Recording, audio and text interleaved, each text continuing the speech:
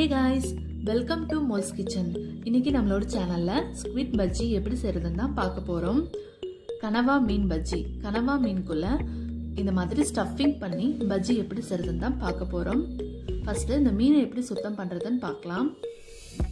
இந்த மீனுக்குள்ளே இந்த மாதிரி நீளமாக ஒரு செதில் இருக்கும். அதை வெளியே எடுத்துடணும். மீன் மேலே இருக்க இந்த ஸ்கின்னை வந்து நார்மலாக நம்ம நெயில் வச்சு பீல் பண்ணி எடுத்துடலாம். இந்த தோல் உரிக்கிறது ரொம்ப கஷ்டமாக இருக்காது. ரொம்ப ஈஸியாகவே தோல் உரித்து எடுத்துடலாம்.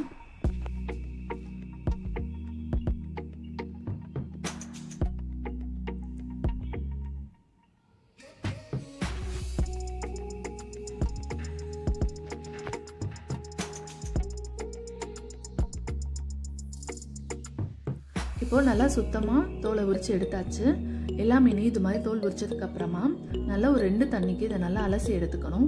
ஏன்னா இதுக்குள்ள நிறைய மண் இருக்கும். இப்போ எல்லா மீனையும் நம்ம சுத்தம் பண்ணி எடுத்து வச்சுக்கலாம். இப்போ ஒரு பேனில் மூணு டீஸ்பூன் அளவுக்கு ஆயில் ஊற்றிட்டு கொஞ்சமாக கருவேப்பிலை சேர்த்துட்டும் ரெண்டு பெரிய வெங்காயத்தை பொடியாக நறுக்கி சேர்த்துக்கலாம்.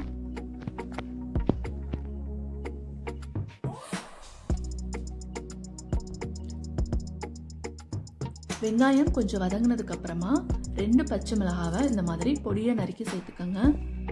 ரெண்டு பெரிய தக்காளியும் பொடியை நறுக்கி சேர்த்துக்கோங்க. தேவையான அளவு உப்பு சேர்த்துக்கோங்க.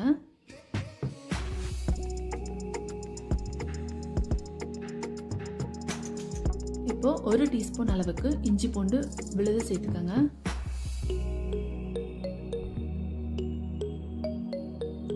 இதெல்லாம் கொஞ்சம் வதங்கினதுக்கு அப்புறமா அரை டீஸ்பூன் அளவுக்கு மஞ்சள் தூள்.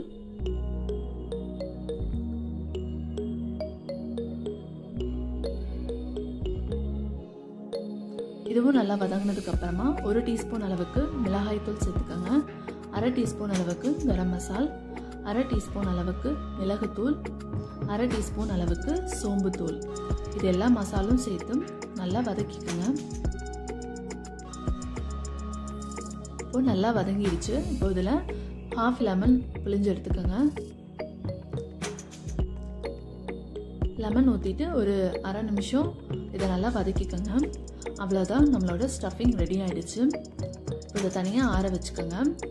இப்போ இந்த கனவா மீனில் இதோட மவுத் சைடு வந்து இந்த மாதிரி ஓப்பன் பண்ணியிருக்கோம் இதுக்குள்ளே நம்ம வதக்கி வச்சுருக்க மசாலா வந்து சேர்த்துக்க போகிறோம்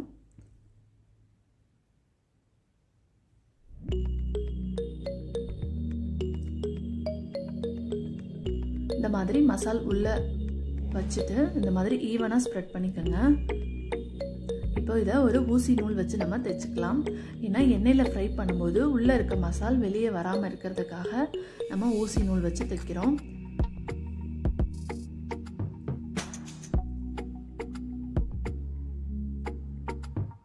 தைச்சிட்டு இதில் கடைசியாக ஒரு நாட் போட்டுக்கோங்க. இப்போது எல்லா மீன்லேயும் நம்ம ஊசி நூல் வச்சு தைச்சாச்சு. இப்போது இதுக்கு மேலே வந்து நம்ம மசால் தடவை போகிறோம் ஃபிஷ் ஃப்ரை மசால் தான். நார்மலாக ஃபிஷ் ஃப்ரை பண்ணுறதுக்கு என்ன மசால் எடுத்துக்கிறோமோ அந்த மசால் தான். அந்த மசால் இது மேலே தடவிட்டு ஃப்ரை பண்ணிக்க போகிறோம் இப்போ ஃபிஷ் ஃப்ரை மசாலுக்கு என்னெல்லாம் சேர்க்கலான்னு பார்க்கலாம். ஒரு டீஸ்பூன் அளவுக்கு மிளகாய்த்தூள் சேர்த்துக்கோங்க. கால் டீஸ்பூன் அளவுக்கு மஞ்சள் தூள். அரை டீஸ்பூன் அளவுக்கு கரம் மசால் மிளகுத்தூள் அரை டீஸ்பூன்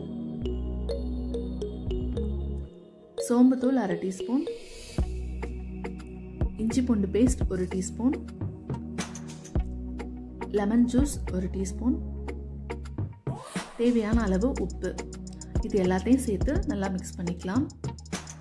கொஞ்சமாக தண்ணி ஊற்றி மிக்ஸ் பண்ணிக்கோங்க.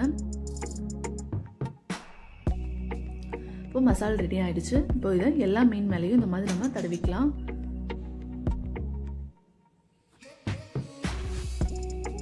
இப்போ எல்லாத்துலேயும் தடவியாச்சு. இப்போ இதை நம்ம எண்ணெயில் போட்டு ஃப்ரை பண்ணி எடுத்துடலாம். எண்ணெயில் போடும்போது கொஞ்சம் லைட்டாக வெடிக்கும். அதனால் வீடியோ நான் ஃபுல்லாக எடுக்கலை. அவ்வளோதான் நம்மளோட பஜ்ஜி ரெடி ஆகிடுச்சு இப்போ இதில் சைடில் வந்து நூல் இருக்கும். அதை நம்ம நார்மலாக அப்படி எடுத்துடலாம். சா சாதாரணமாக எடுத்தாலே அது வந்துடும். அவ்வளோதான் நம்மளோட பஜ்ஜி ரெடி ஆயிடுச்சு. இந்த வீடியோ உங்களுக்கு பிடிச்சிருந்ததுன்னா please like share and subscribe பண்ண மறந்துடாதீங்க. பக்கத்தில் இருக்க பெல் ஐக்கானையும் கிளிக் பண்ணிக்கோங்க. தேங்க்யூ